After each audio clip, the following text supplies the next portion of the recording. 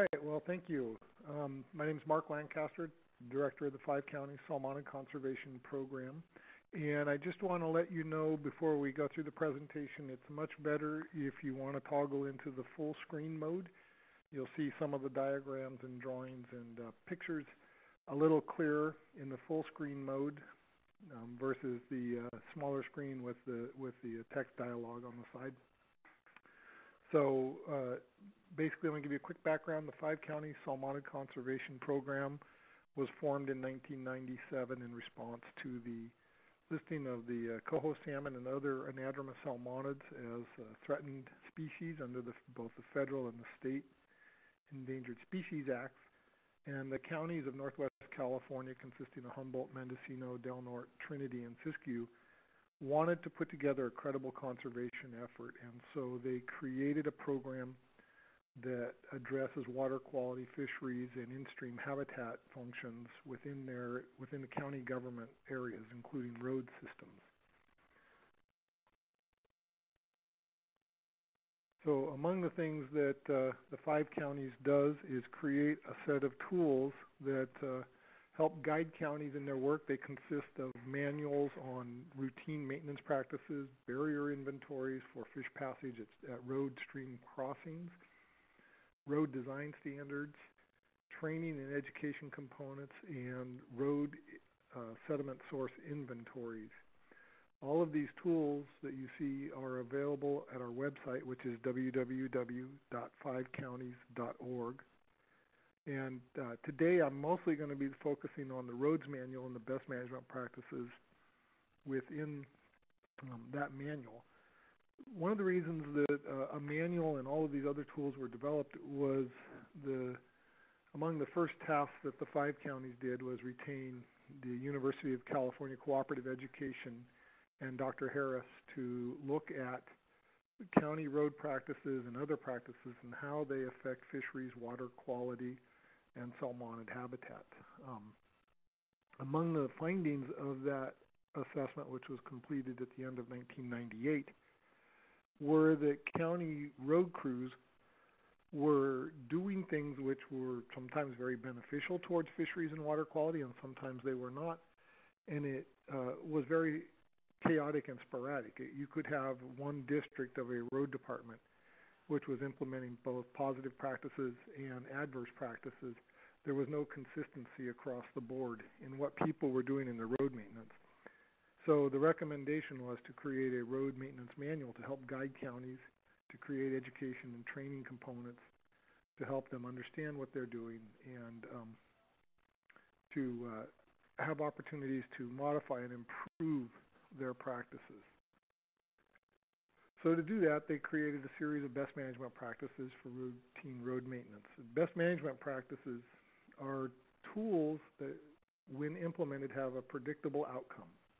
They often have extra built-in protection measures into them so that they're readily repeatable and um, you end up with no surprises. So for instance, if you're going to be doing fire burning, there are over 57 best management practices that are implemented before the, the flames ever hit the ground. Those practices include everything from safety clothing to weather conditions to assessment of fire risk, adequate staffing, even down to uh, the type of fuel used, the mix of the fuels used to create the desired outcome.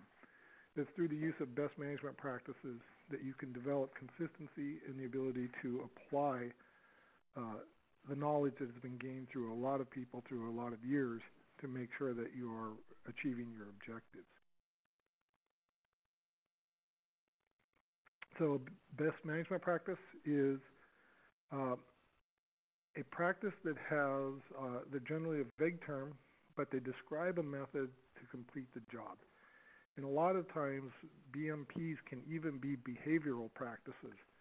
For instance, in our roads manual, there is a practice to, uh, a best management practice to walk around a vehicle and look for leaks of hydraulic fluid, fuels, oils and other things that can contaminate a creek. So each time that a, a uh, road crew is going out to work anywhere where discharge can reach a stream, they should be looking at and performing routine maintenance on their vehicles to minimize and prevent excess leaks of oil or other materials.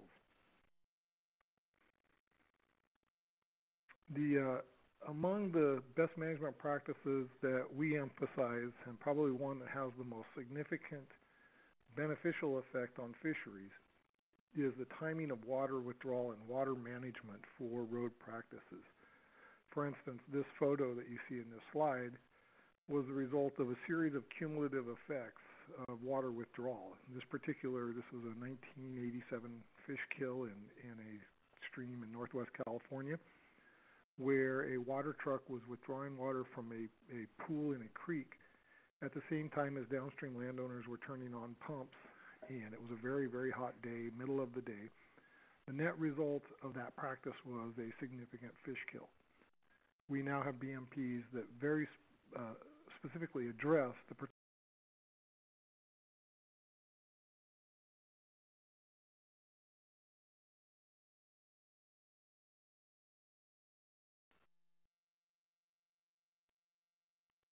There are a number of manuals out there relative to providing best management practice guidance. These two uh, represent uh, the manuals of the counties in Northern California. The one on the left is from the FishNet 4C counties, which is from Mendocino County down to Monterey County. The one on the right is the uh, 5C manual, which represents from the Oregon border down to and including parts of Mendocino County and they're very similar in their approach. They um, they both prescribe a series of BMPs and, and training focuses. The uh, FishNet manual tends to focus more specifically on activities very near to a stream, whereas the 5C is a little broader and focuses also on upslope areas. Um, there's another number of other manuals out there. For instance, there's the Caltrans Stormwater Manual. There's the Oregon Department of Transportation uh, highways manual, and there's one that came out last year that I like. It's the U.S. Forest Service's environmentally sensitive road maintenance practices for dirt and gravel roads. This is a good one for people who are um, less familiar with the, a lot of the nature of the problems on roads. It uses a series of photos that show the type of problem, and based on that photo, characterizes what causes the problem and then also recommends some treatments. This is a, a, handy little pocket book that you can get from the Forest Service. It is uh, known as 7700 Management Transportation 1177, and it was released in April of 2012. If you are interested in learning more about that manual and you can't find it yourself, feel free to contact us at www www.fivecounties.org, and we will try to link you up to that manual. The Five Counties Roads manual is broken down into four broad categories. There's a background providing information about why we're here, what what uh, why counties need to be involved in, in the awareness of water and fisheries and water quality. Then there's this, uh, the bulk of the manual, which focuses on implementation practices and best management practices to offset impacts.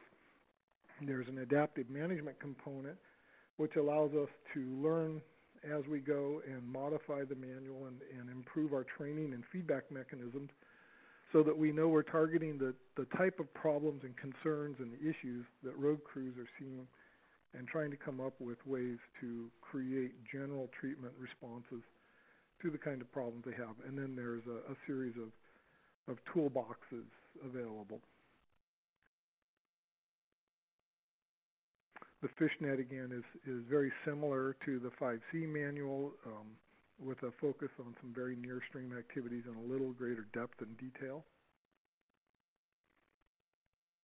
So looking at the 5C counties, um, we conducted a sediment source inventory throughout uh, about 2,600 miles of the county roads. And what we uh, are looking at are both episodic, large-scale failures that could occur on county roads, and these are typically at stream crossings or landslide sites. But we also focus on the more chronic or annual sources of sediment that reach a creek from county roads. And these are highlighted in the yellow in this slide. You can see that they're um, mostly the ones that can be readily addressed by routine road maintenance activities. If you look at the graphs, you can see that um, about 81% of the total potential volume of dirt that would reach a creek from a county road site um, is coming from the actual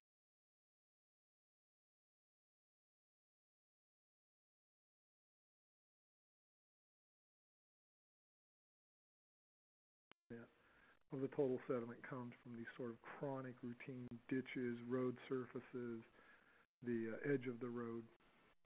And then you can see that there there is uh, a number of them, about half, which have uh, a priority to want to treat as quickly as you can, given all of the factors that drive that. So what are the factors that drive treatment? Um, one of the things that counties have to respond to are citizen complaints and, and complaints or comments and direction from boards, both their board of supervisors as well as the Water Quality Control Board and others. So this is a, uh, it is a component of planning that you have to deal with when you're a county. Um, and it's it's it's just a very real resource drain potentially, depending on the nature of the of the concern, whether it's it's the highest priority or it's just the most visible. But then looking at other more proactive ways of addressing um, routine road maintenance, one of the things that we focus on is training the county road crews in new practices or uh, emphasizing practices that are beneficial and recognizing sites and knowing when to modify a practice. So one of the things about our counties is that they are committed to an aggressive training program, which includes two trainings a year for water quality fisheries components.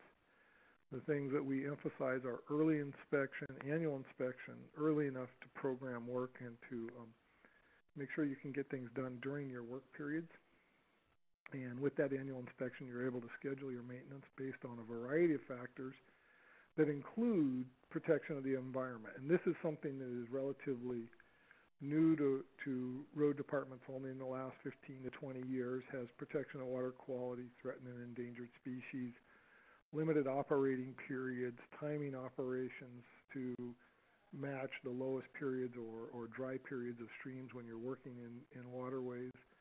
But other factors that are equally as important and have to be considered are staffing schedules, the availability of crews to perform maintenance activities, the available of equipment and materials that you need to actually successfully complete maintenance activities, the accessibility of sites to get into them, um, and then to awareness to know that when you are chronically returning to the same site and having to perform maintenance, that maybe you need to step back and look at the nature of the site and see if it is uh, necessary to upgrade that site to solve your, your, your maintenance problem. So within our roads manual, chapter 11 is our best management planning training program. Like I said, every year the counties uh, have at least two trainings devoted to awareness and implementation of, of best management practices in relationship to fisheries and water quality these trainings, one includes a multiple day training that is both classroom and field application on-site projects, and the other one is a one-day refresher course in a, some aspect of the roads maintenance manual. So the purpose of the road trainings are to reach all levels of road crews, from crew workers, supervisors, engineers, and management, because the actual practice of road maintenance activities has to be from the top down. There, there is, a, if the leadership does not recognize the need to address these things, it's, it's almost impossible to see it translated on the ground.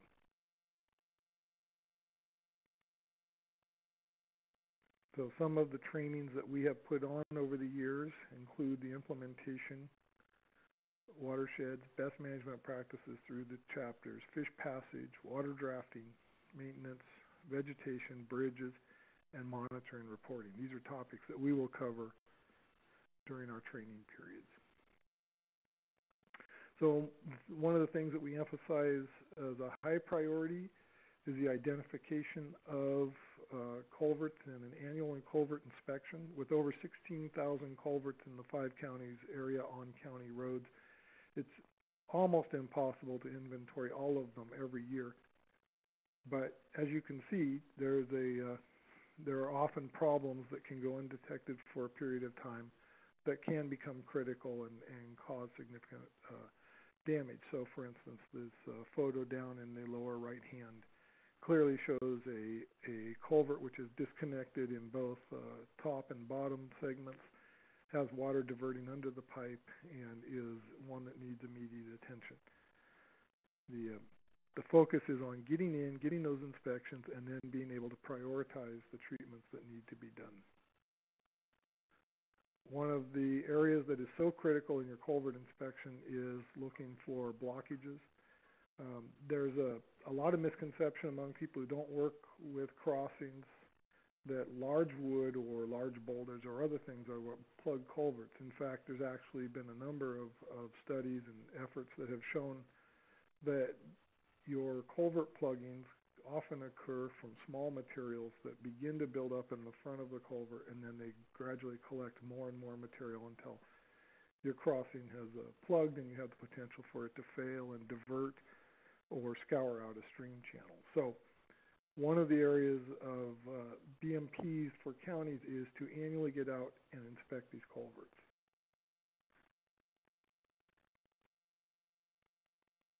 Another reason is that sometimes conditions may change before you're aware of it and create risks. This particular culvert crossing is located in decomposed granite soils, which are highly erodible.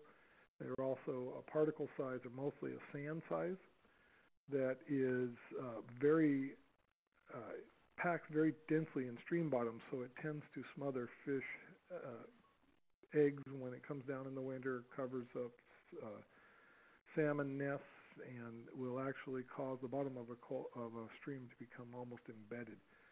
So the risk here is that a, a recent timber harvest has accumulated large piles of, of woody material on both sides of the culvert such that it could plug and jam and then could cause the road to, the culvert to plug and then the road to fail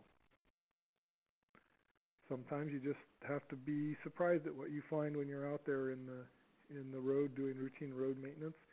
This is an example of a, a routine maintenance effort where the uh, road crew found somebody's pot stash within their uh, within their ditch line. So we know they were out looking. In addition, in, in Northwest California, there are a number of counties that do not have grading ordinances, and, and sometimes you will see new road construction on private properties that can substantially alter your drainage as a, as a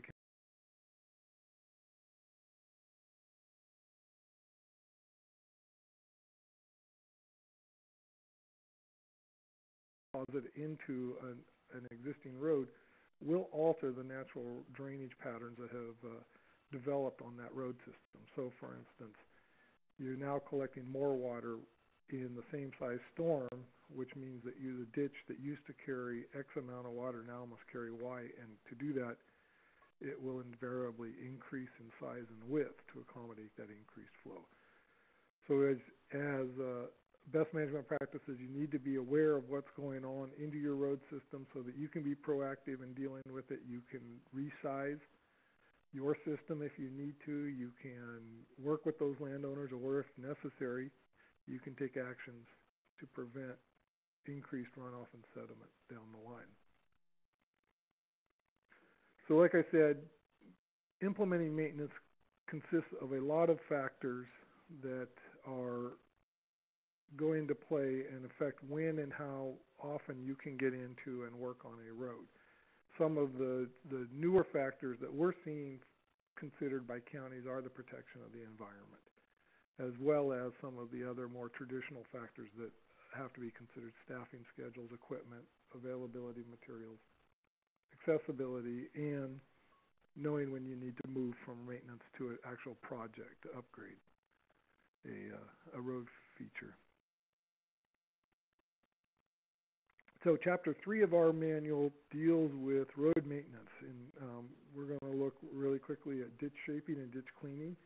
You can see to the left, this is uh, a portion of the description of ditch shaping and cleaning best management practice needs and the BMPs. And on the right, you can see a, a, uh, a road during a large storm in which the ditch has plugged, the water has diverted out of the ditch, has run down the outside of the road, and is discharging um, over the bank and into the creek. So the best management practices look at ways to prevent that kind of problem and, and to solve it where it occurs. One of the questions is, what is a ditch? In theory, a ditch is, is, has two components. Has the physical ditch itself and an endpoint. In actuality, they can actually become streams. Many ditches intercept small creeks, carry them uh, down long lengths of road and deposit them into stream channels where they did not exist before.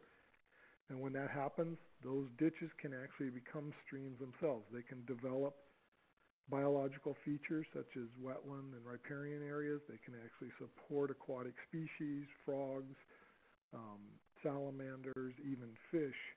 And once your road ditch has become a creek, your ability to operate on it and maintain it becomes substantially more difficult.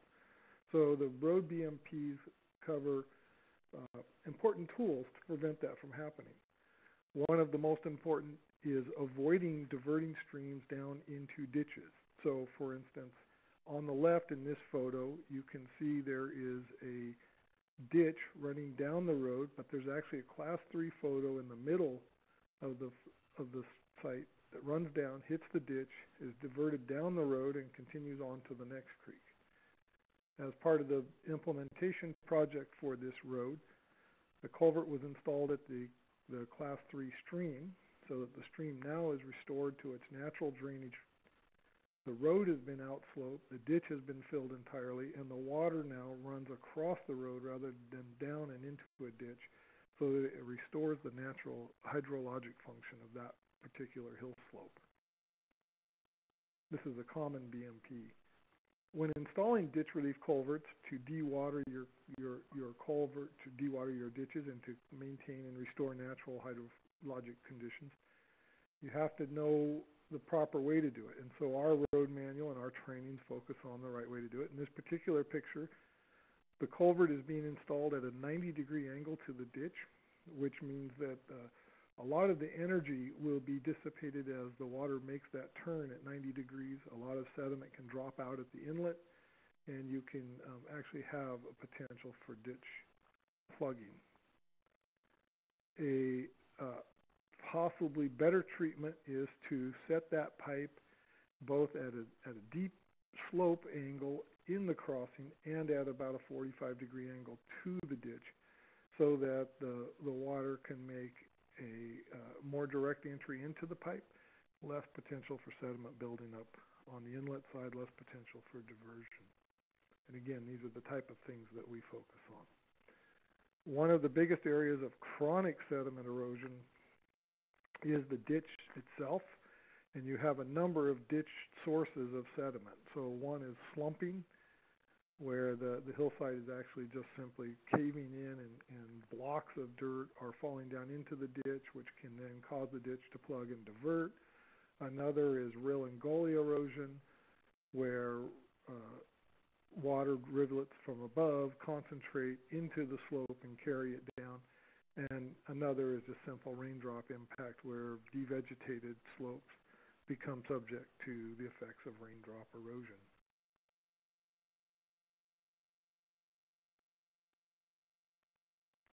Ditch cleaning is a practice that is done to maintain ditches to prevent them from jumping out of their channel, running across a road, tearing up the roadbed, and potentially going over the bank and causing significant problems.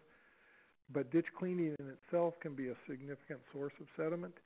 The constant removal of the vegetation at the toe of a slope can increase the slope angle, which can cause slumping and rilling uh, on the on the bank, which can greatly accelerate your your failures into your ditch, which then greatly increases your need to pull the ditch. Um, and the loss, lack, lack of vegetation also allows that sediment to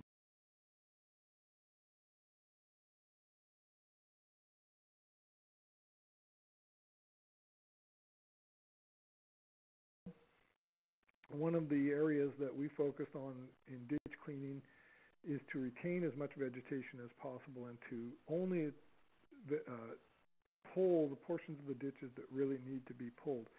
In the past, one of the uh, typical encouragements of road crew foremen was for the foreman to be able to see where the grader operator had clearly pulled and cleaned that ditch.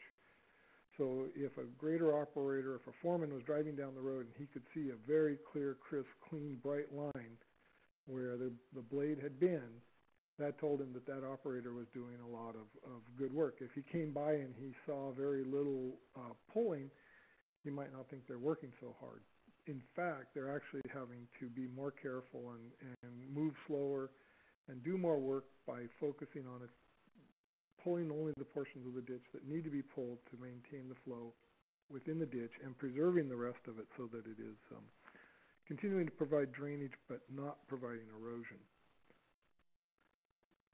Ditch management can become tricky. If you let water stand for long periods of time within your ditch, it can form into wetlands and provide other critical habitats for certain species, such as, again, frogs, salamanders, um, and other species that then, to protect those species um, during the reproductive cycles and, and uh, germination and, and the new populations, you may end up limiting the time of operations that you can work in your ditch systems. And if you have a lot of ditches with a lot of limited time periods that you can actually get into them, being able to maintain your system may not be, uh, may become very problematic for you.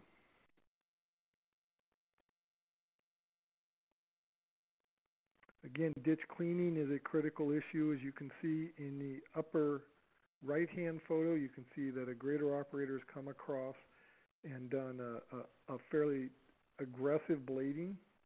You can see the, the discharge of the sediment going into the culvert inlet, and you can see that that, that is not a natural angle of repose for that slope. So you're going to actually trigger more material slumping and creeping into the ditch, which is going to trigger additional pulling. Timing of operations is also a, a significant consideration. If you're pulling ditches when it's wet and rainy, you have a far greater chance of making of getting that sediment delivered to a stream system rather than in the dry period of the year. This is a, a, a particularly problematic ditch impact. In this particular case, the county pulled the ditch uh, material out onto the road surface. They then collected that road, that, that ditch material into uh, loaders, loaded them into dump trucks, hauled away the material to an approved spoils disposal site, and then they came back in with a water truck to wash the dirt off the road surface. They sprayed the water.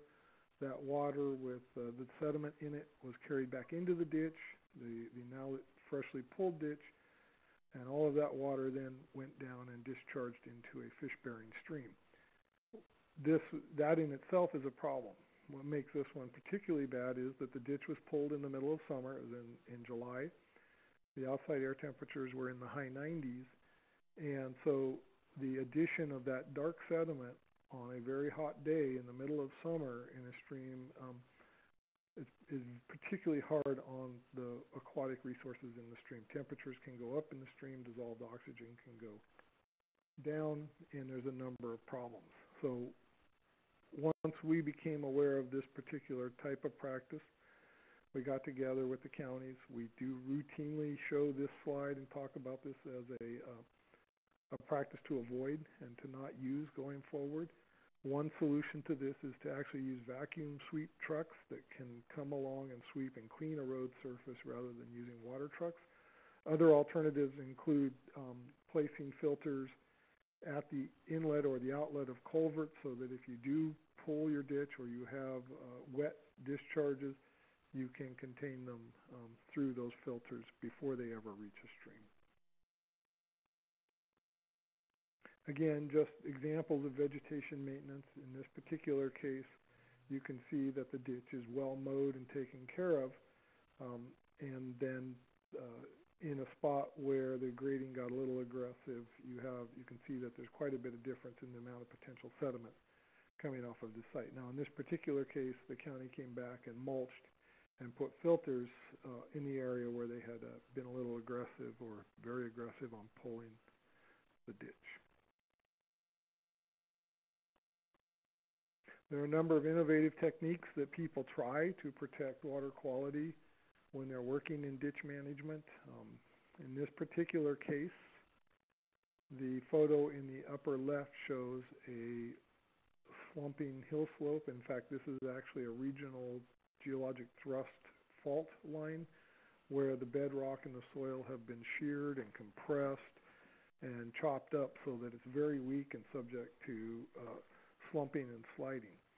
To address that, the county installed a ditch relief culvert that took the water from the upslope side of the road, carried it across the unstable area on a side slope uh, plastic pipe, as you can see in the lower left-hand photo, and then discharged it into a stable area, as you can see in the lower right-hand photo.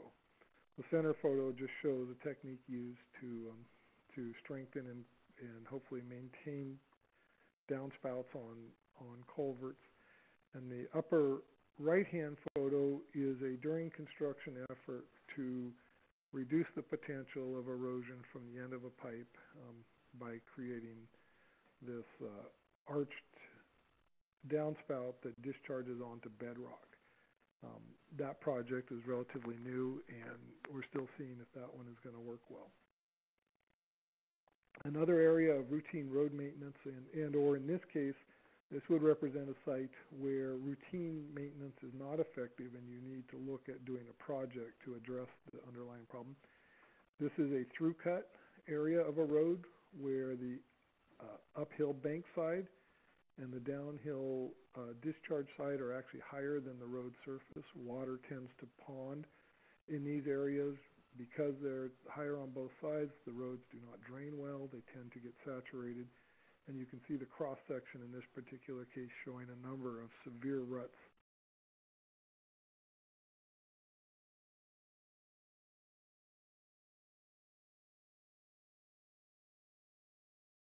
You can see that the, uh, the original road conditions showed very large ruts in the road as well as a berm on the outside edge. The treatment was to reshape the road, to eliminate the ruts, to eliminate the inside ditch, to outslope the road, and because of the nature of these soils being very plastic, very malleable, um, geofabric tech was laid down underneath the rock surface once the road was outsloped and the ditch removed and the berms removed. Um, there was an additional benefit in the use of geofabric in this particular site because it was such a long distance from a rock source that the geofabric allowed you to lay down less rock than you would have had to put down um, if you were not relying on the geofabric. And the geofabric is relatively inexpensive relative to the cost of the rock. Again, another practice that counties are using is to change the, the drainage shape and the drainage function of the roads. So on the left you have the traditional road design. You've got an inboard ditch and a big berm. On the outside, all water is concentrated into the ditch, carried down to a stream where it's discharged. The post-treatment consisted of filling the ditch, outsloping the road entirely, um, and one of the advantages to this type of treatment is that reduced maintenance staffing levels and reduced funding for maintenance have meant that counties can't get out and treat sites nearly as often as they used to. A road that is in an outslope condition, uh, we have found, has required far less maintenance, um, some of them going as much as a decade before they uh, have a blade put on them or they need supplemental rock. Now, most of the outsloping treatments proposed on county roads tend to be on low volume, uh, remote road systems with very low traffic and tend not to be in areas that are subject to significant snow and ice accumulations. We have a road design standard called the Low Impact to Hydrology Road Design that specifies when and where uh, outsloping and rolling dip techniques can be used on county roads. most of county road maintenance on rural roads, on unsurfaced or unpaved roads, excuse me, um, consist of reblading the existing rock. But as we strive to improve water quality and, and habitat conditions, you will see more and more efforts to try to surface roads to prevent rill and gully erosion. And there are BMPs that address all aspects of these maintenance activities. So for instance, there are BMPs that talk about the practices of graders when they pull the outside edge of a road, the temporary storage of the materials pulled, how those berms are handled. There's BMPs that address where the water comes from for the water truck and its application. There are BMPs regarding the maintenance of the equipment and looking for leaks, even uh, BMPs addressing the storage of the equipment.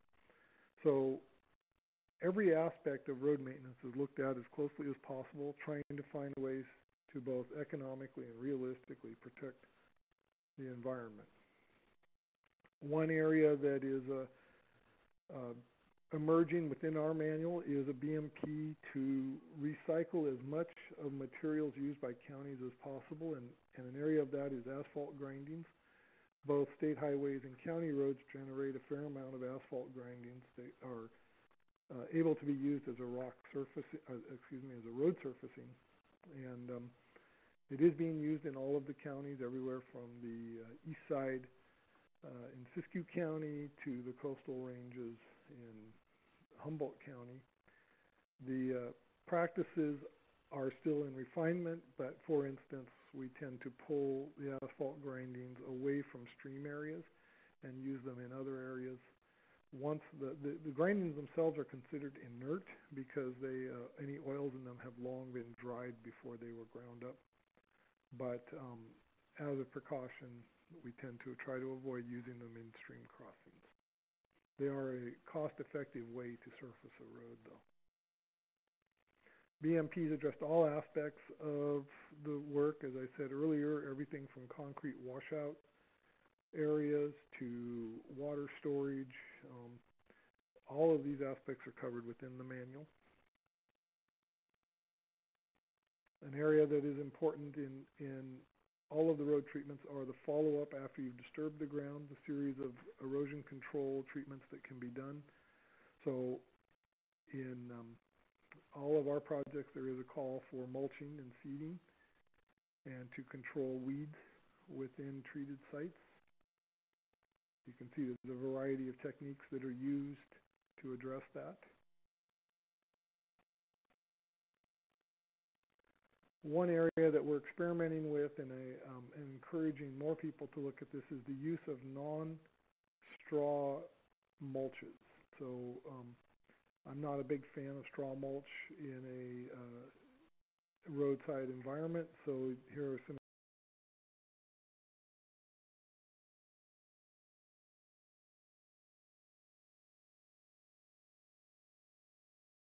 uh, ground up by utility companies and then spread. In the upper right is a native pine needle mulch that was collected from the site and then redistributed onto a, a road that was decommissioned. And then down below is again a native mulch site in lieu of straw mulches. And uh, I encourage people to look at the use of those options. So stream crossings are uh, the most significant potential sediment sources and thus they tend to be among the more expensive and problematic aspects of road maintenance. We have BMPs that call for the upgrading of culverts to convey the 100-year storm flow, as well as bedload and debris if it's a fish passage crossing. The current designs or, or designs prior to the adoption of the road maintenance manuals were to design crossings with a 10-year culvert size and as I said, they're now upsized to the 100-year culvert size. We emphasize the proper placement and alignment of culverts. In the old days, pipe was relatively expensive and labor was relatively inexpensive. So there were practices to put in pipes that were as short as possible, which tended to put them in at 90 degrees to the road crossing. They tended to be buried relatively shallow and they tended to often not align with the channel. So as we upgrade county roads, we place an emphasis on the proper alignment of the pipe into the channel, the proper grade of the pipe to match the natural stream channel, as well as uh, the placement of energy dissipation at those. And I should emphasize these are, um, this is a class three stream, which is considered an ephemeral stream. It only flows in response to winter storms. So, for instance, the type of mulching used at the inlet, as shown in the lower left photo, is a, a very effective way to prevent erosion, but would not be suitable for a stream that had riparian vegetation growth. Again, uh, examples of correcting past problems. The photo on the left shows an 18-inch diameter culvert located at a flat angle, um, approximately 60 feet above the bottom of the fill slope. That pipe was removed. A 70-foot long pipe was installed, 24-inch diameter, and the entire site was uh, rock armored because of the potential for diversion of the stream crossing due to particular aspects of that, that particular site. The road manual includes best management practices and techniques for reducing uh, erosion and sediment from these crossings as treatments are done. This is an example of one of those. Again, examples of using rock armoring at uh, ephemeral streams.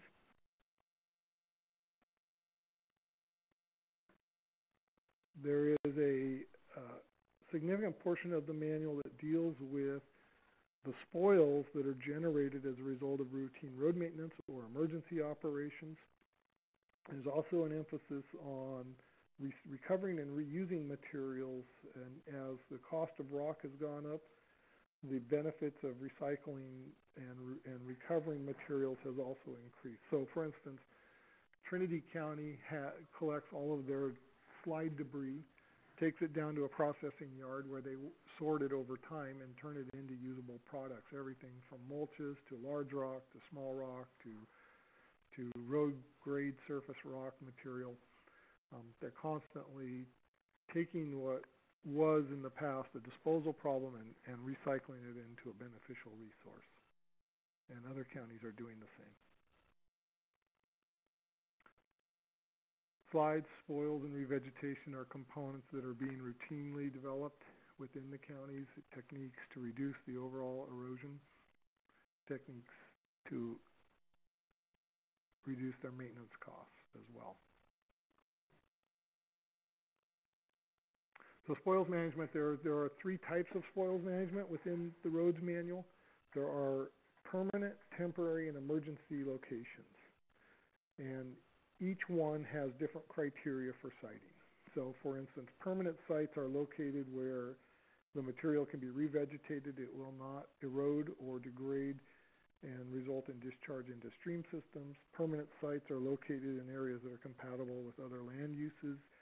Things like habitat considerations are built into it. Temporary locations uh, have similar constraints, but the intent is to keep that material on site for less than a year to move it to a permanent site and then to revegetate it.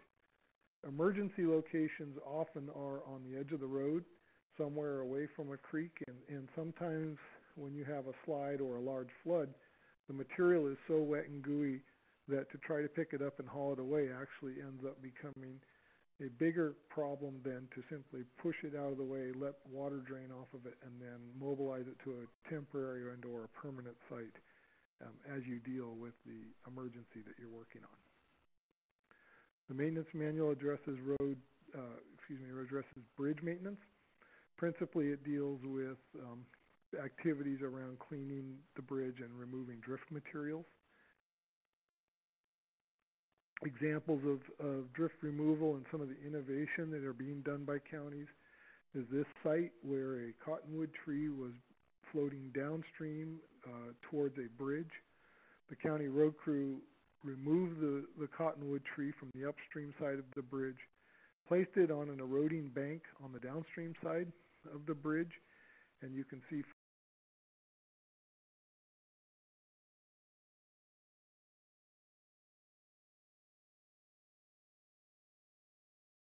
vegetation and embedding it in the edge of the bank.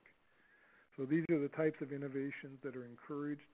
When they're done, um, they're brought back and demonstrated to other counties and others as ways to manage their, their roads and facilities. Chapter 9 of our manual deals with the management of snow. This is principally limited to the higher elevation counties such as Trinity and Siskiyou County. And um, I encourage you to go online and take a look at that if you want. It lays out the, uh, the practices to consider when working in snow. Ways again, these are all focused on protecting water quality.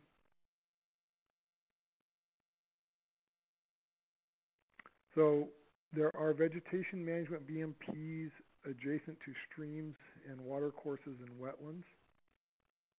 And the emphasis here is on retaining functional habitats while also meeting the safety requirements of the county road. And again, it's a, a awareness and training techniques, things for the county crews to look at and consider while they're doing the work.